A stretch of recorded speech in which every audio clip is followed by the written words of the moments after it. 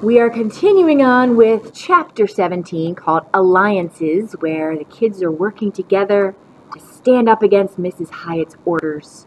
They were in math class last time, and Dave and Lynsey actually worked together to defy the teacher and tell her how they did their math homework without actually using more than three words.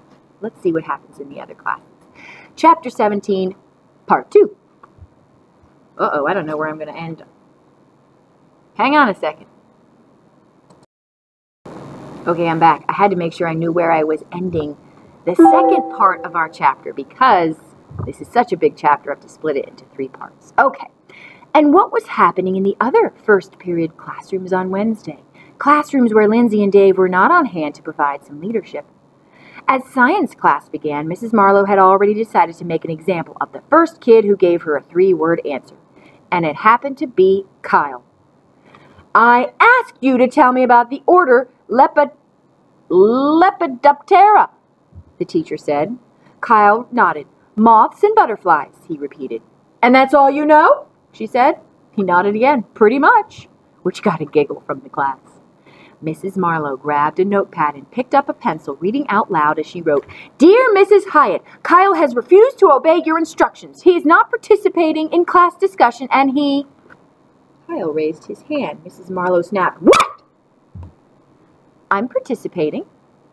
No, you're deliberately using as few words as possible and you are disobeying the principal. Kyle shook his head. I'm conserving. She said, That's nonsense. Conservation means. And Kyle finished her sentence not wasting, which is true. When we conserve, we try to use things carefully and not waste materials. Mrs. Marlowe glared at him. Conservation is for energy and water and soil and forests. Words don't need conserving. Maybe they do, Kyle said, which was awfully brave of him. And all the kids in the class nodded their agreement with Kyle, which was also very brave. Mrs. Marlowe herself began to get angry. However, she was an extremely logical person, and she had to admit that Kyle had a point. Anybody who had ever eaten lunch in the teacher's room or sat through a whole faculty meeting would have to agree that a lot of words get wasted every school day. And all that endless gabbing that had made the Unshushables so famous, 99% waste. But she, said, but she said, regardless of that, the principal said you must all participate normally in class. Kyle scrunched up his face. What is normal?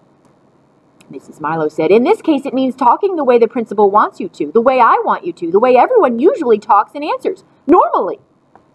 Kyle said, Can normal change? Well, said Mrs. Marlowe, and then paused.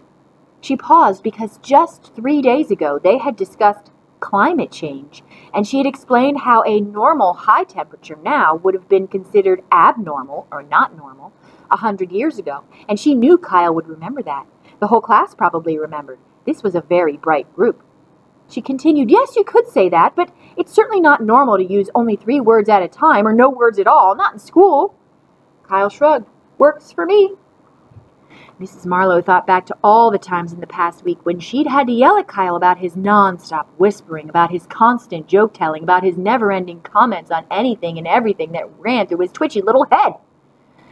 And she looked at Kyle, sitting there quietly, giving her his full attention. And every other student was doing the same thing.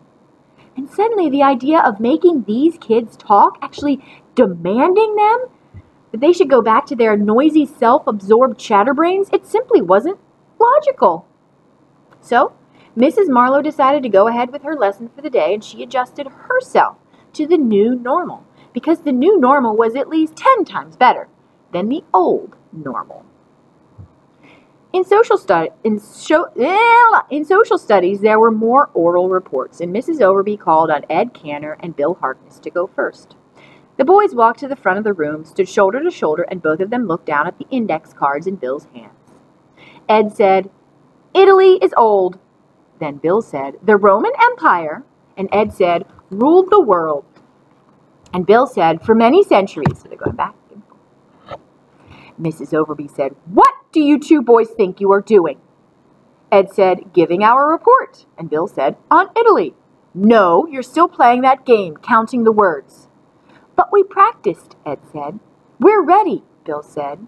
And Ed said, Can we finish? Like the other teachers up and down the fifth grade hall, Mrs. Overby had made a decision. Go with the flow, which promised to be very quiet and orderly, or call the principal, raise a ruckus, and try to force these kids to do their regular old noisy selves again. As a student of history, Mrs. Overby knew about the power of grassroots movement. She also knew about the power of civil disobedience. But mostly, she decided that this no talking craze was actually a pretty good social experiment. Plus, she didn't feel like the kids thought they were winning and she was losing. It wasn't like that. They were just having a different kind of communication experience. Together, that's all. True, Ed and Bill's report on Italy was choppy and awkward and a little hard to follow as they passed the narration back and forth like a ping pong ball. But the boys made all their points. Learning took place, and the whole class sat quietly and paid close attention. And the next five reports went almost as smoothly. What could a social studies teacher ask for? So, like the other teachers, Mrs. Overby chose the quiet way, and she, di- she decided she'd talk to the other teachers later in the morning and see how they were handling this thing. And she'd talk to Mrs. Hiatt, too. That's where we'll have to stop part two of chapter 17. But next time, it's Mr. Burton's class. We'll see what he's going to do with the kids. Uh, he's the one who had them make up their silly story. Right, so we'll see what he does with them.